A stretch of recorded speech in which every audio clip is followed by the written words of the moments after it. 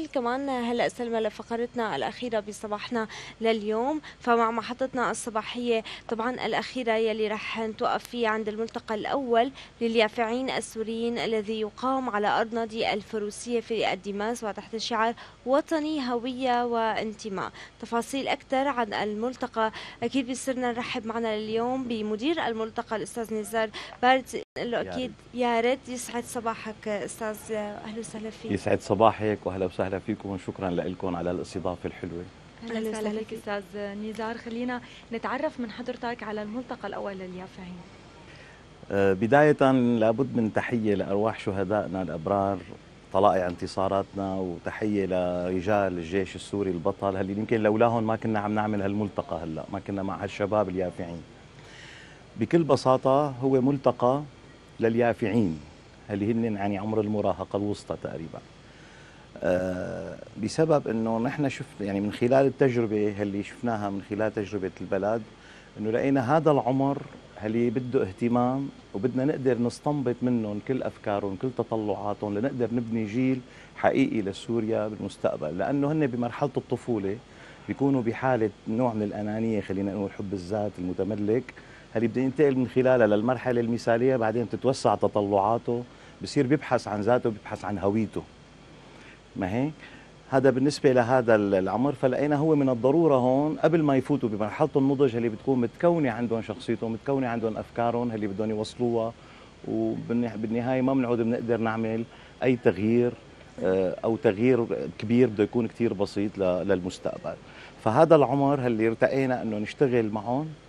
بشكل إيجابي وفعال وناخذ منهم هالأفكار وناخذ منهم ونفسح مجال يكون في عندهم مساحات حرة ليعبروا عن ذواتهم يعبروا عن مفاهيمهم. وخاصة بما يخص هويتهم الذاتية وهويتهم الوطنية. نعم.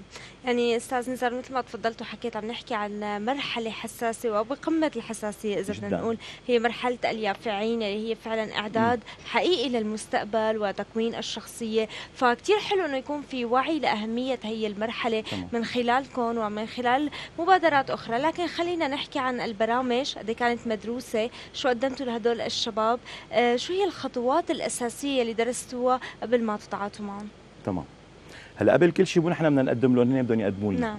نحن اللي نحن عم نقدر نعمله إنه عم نفسح لهم مجال لهن يقدموا يعبروا عن ذواتهم ويطلعوا مكنوناتهم ويكتشفوا ميزاتهم.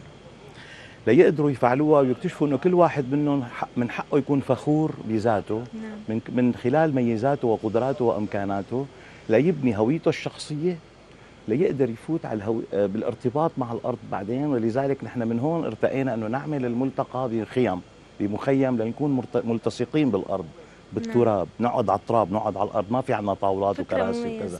فعم نقعد نشتغل على الأرض ونعمل حوارات ونعمل اليوم آه عمليا نحن امبارح افتتحنا اليوم هلأ بدها تبلش هلأ شغالين الشباب آه نتمنى تزورونا كمان تشوفوهم تعرفوا عليهم. فالفكرة هي أول شيء بده يعرف الفتى مين هو من أنا؟ بده يسأل سؤال مين أنا؟ نعم. شو عندي؟ حاول يكتشف ذاته. بعدين مع رفقاته طيب مين نحن؟ صرنا كتار. بدنا نكبر لنشكل مجتمع. هذا المجتمع بده يفعل عنده ميزات. صحيح؟ طيب كبرنا نحن. نحن بحاجة لنقدر نشتغل. بدي مكان أشتغل فيه. اليوم إذا بقول لك أنا عندي شغلة فلانية عندي حفلة عندي مناسبة عندي لقاء أول كلمة بتسأليني أول وين؟ سؤال وين؟ فبدنا أرض بدنا وطن.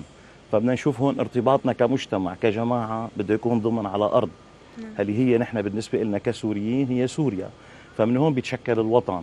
من خلال استيطان المواطن على الأرض يصبح وطن بصير هذا الارتباط وهذا الالتصاق. ليعرف قيمة نفسه يعرف إمكاناته يعرف حدود إمكاناته يصير مسرور إنه عم يعبر عن ذاته وعن قيمه وبالتالي بيخلق عنده شعور إيجابي نتيجة هذا الشيء اللي بدنا نحاول نوجده هذا الشعور بنسميه الانتماء. نعم.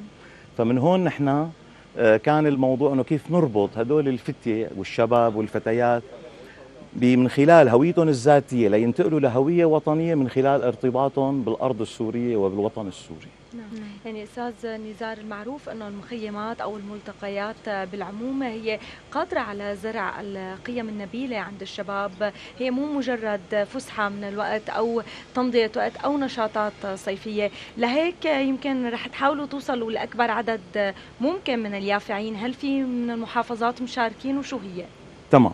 هلا آه انت تقريبا فتي هيك للمكان اللي الأساسي. قبل كل شيء بس بدي نحن ما رح نزرع قيم نحن بدنا نطلع القيم الموجودة جواته لأنه هن كل واحد فينا في عنده قيم حقيقية موجودة فيه.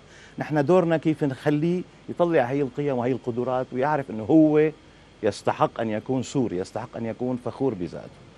هي شغلة. شغلة ثانية نحن بالنسبة لنا بدنا نطلع بمبادرات داخلية ضمن الملتقى ومبادرات مجتمعية ضمن محافظات.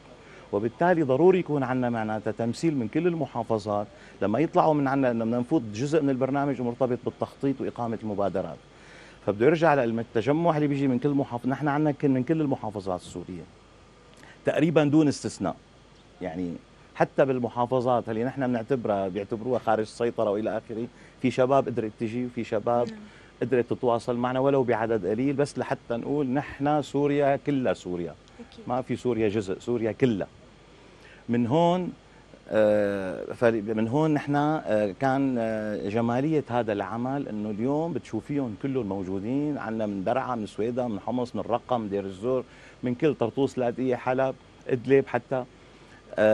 بدهم يطلعوا مبادرات مجتمعية تتنفذ بمناطقهم وبالملتقى الثاني إن شاء الله بدنا نعمل متابعة طبعا خلال العام لنشوف شو النتائج اللي حصلوا عليها وشو اشتغلوا عليها.